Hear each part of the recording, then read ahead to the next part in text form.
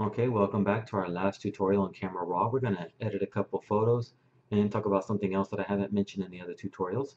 Go ahead and select this picture and then this picture of this guy and this girl and then go ahead and open it and I have it opened already and Camera Raw opens up because I have the any NEF extension or the CRW or the DNG. Um, indicates it's a raw file. First thing I'm going to do is take my white balance tool and click right about here, see if I can neutralize the colors. And then I'm going to notice something immediately. I look at my histogram over here and I can see that if I turn on this clipping, pressing O the shortcut, I'm going to see something clipped.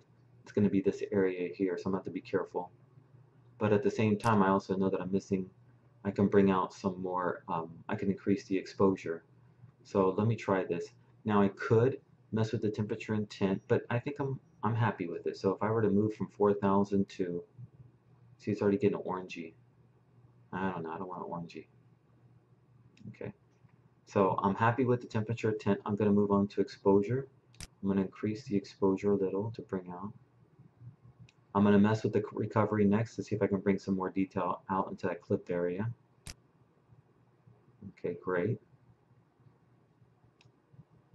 Do I need to use the fill light? Well, it's always nice to check, but I think it's not really because I already have the detail I need blacks, maybe make it a little bit darker, not much.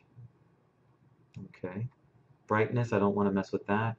Um, contrast, let's see what happens here. Oh, that's nice. It brings it in a little bit better. Great.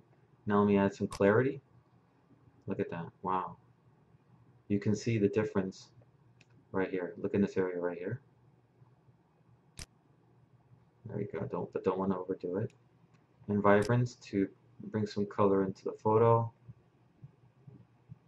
Yeah. Okay, now let's look at it before and after. Before, after, before, and after. Next, I'll go to the Detail tab. I will double click the Zoom tool to get to 100%. And I will start with the sharpening. Oh, that's bad. So I got to be really careful in the sharpening on this one.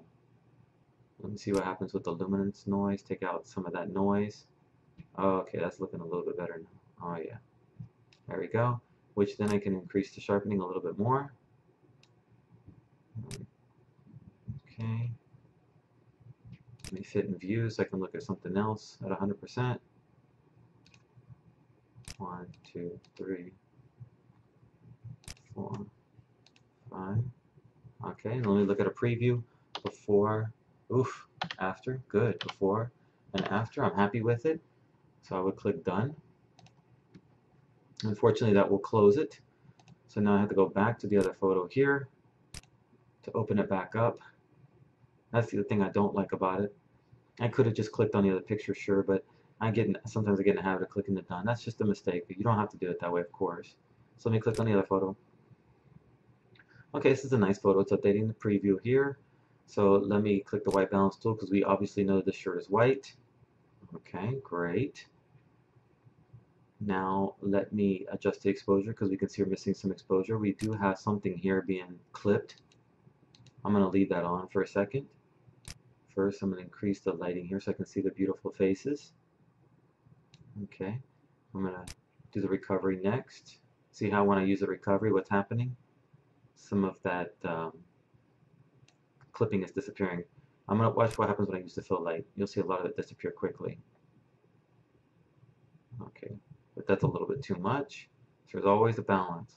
I'm not too worried about this area in the back because what's important is these people. Be careful with clarity on people. It can make them look good, as you can see here, but a little bit does help.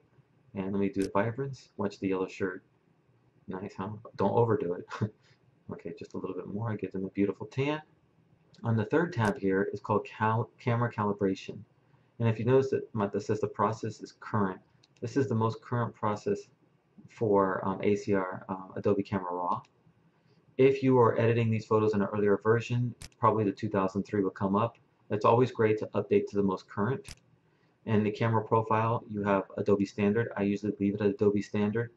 Uh, but it also uh, will show you different modes of your camera. So if I didn't like Adobe Standard, I can choose this one, and because I'm on Windows, I can press the down arrow and look at different modes and see how it would work. Okay, so I'm go back to this. Let me put some more magenta into it. Mm-hmm, you gotta be careful here.